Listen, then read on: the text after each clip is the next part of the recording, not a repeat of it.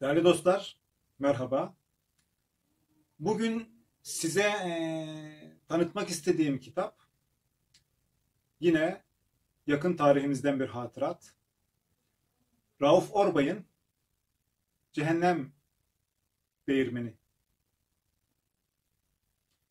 Cehennem Değirmeni değerli arkadaşlar Rauf Orbay'ın siyasi hatıratı.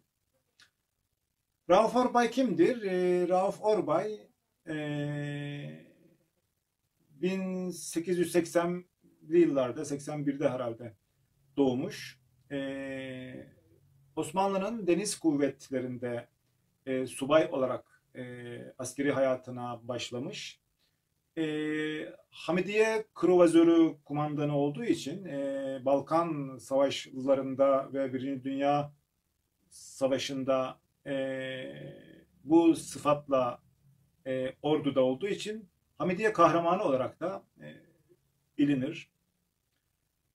Siyasi hatıralarım e, Rauf Orbay'ın e, Mondros mütarekesi yıllarından e, Cumhuriyet'in kurulmasının ardından e, Türkiye Cumhuriyeti'nin yeni siyasi hayatının belirli evrelerine kadar hep siyasi hayatın baş rollerinde kalmış. Milli mücadelede e, Mustafa Kemal'le birlikte e, işte Ali Fuat Cebesoy, Kazım Karabekir, e,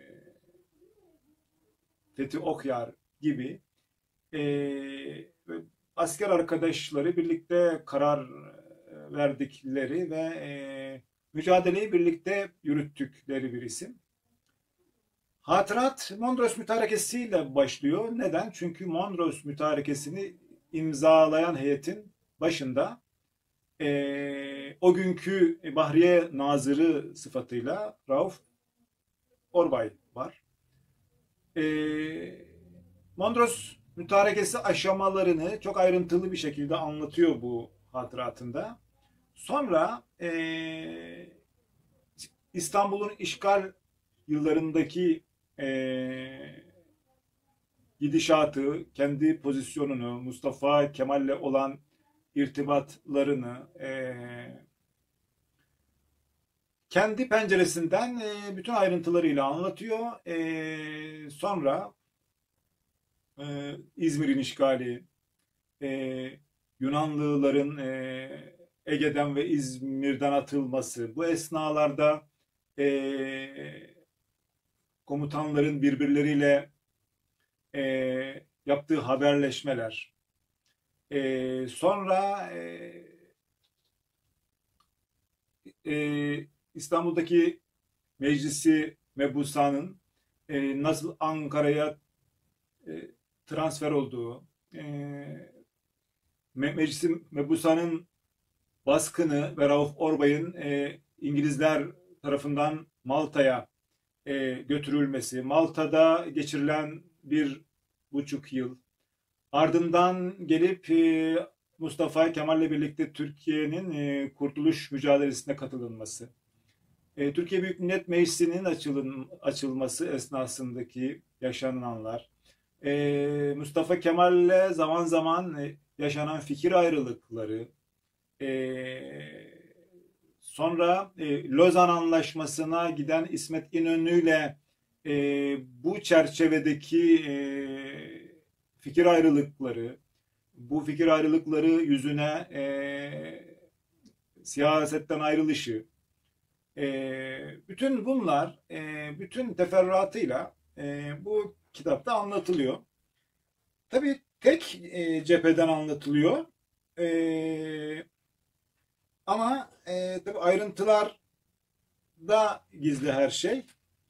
E, dolayısıyla e, bütün o günlerde yaşananları Rauf Orbay'ın e, gözüyle öğrenmiş oluyorsunuz. Ben kitapta tabii zaman zaman e, notlar tuttum. E, zaman zaman e, kafama takılan yerler oldu.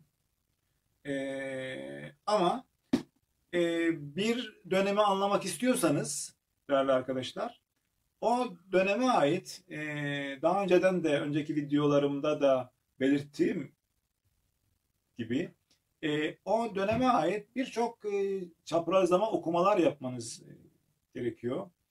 E, benim de e, aylardan beri yapa geldiğim o. Mümkün olduğu kadar e, o dönemlere ait e, farklı kitaplar e, okuyorum. Bundan önce okuduğum kitabı size henüz tanıtmadım. E, e, Damat Ferit Paşa'nın yaveri e, Mümtaz Göktepe'nin e, yazdığı e, Vahidettin'le ilgili yine o dönemleri anlatan bir kitap. E, bundan sonra okuyacağım kitap e, Falih Rıfkı Atay'ın e, Çankaya adlı e, hacimli bir eseri ki o, onda da çok çok çok önemli ayrıntılar yakalayacağımı düşünüyorum. Çünkü e, Mustafa Kemal'in e, en yakınındaki adam olarak biliniyor. 1923'ten bu yana. 1923'ten önce de e, Osmanlı e, yönetiminin çeşitli kademelerinde bulunmuş bir insan. O tabii bu bahsi diğer e, ama e, söylemek istediğim bir dönemi anlamak istiyorsanız o dönemle ilgili e, çok farklı açılardan çok farklı kitapları, çok farklı eserleri e, önyargısız bir şekilde okumanız gerekiyor. Bilgileri çaprazlama değerlendirmeniz gerekiyor. Ayrıntılardaki e, diyaloglara dikkat etmeniz e, gerekiyor. Rauf Orbay'ın e, Cehennem Değirmeni adlı kitabından çok şey öğrendiğimi söyleyebilirim. E, kitapta birçok tasih hataları e, yakaladım. E, onları kendimce düzelttim. E, yayın evine bildirdim. İnşallah dikkate alırlar. Okuma serüvenlerimiz böylece devam edecek ve ben de ilginç bulduğum kitapları sizinle paylaşmaya e, devam edeceğim. Bugünlük bu kadar diyorum. Ee, bir dahaki kitap tanıtım videomda sizinle e, görüşmek isterim. Şimdilik hoşçakalın efendim. Saygılar.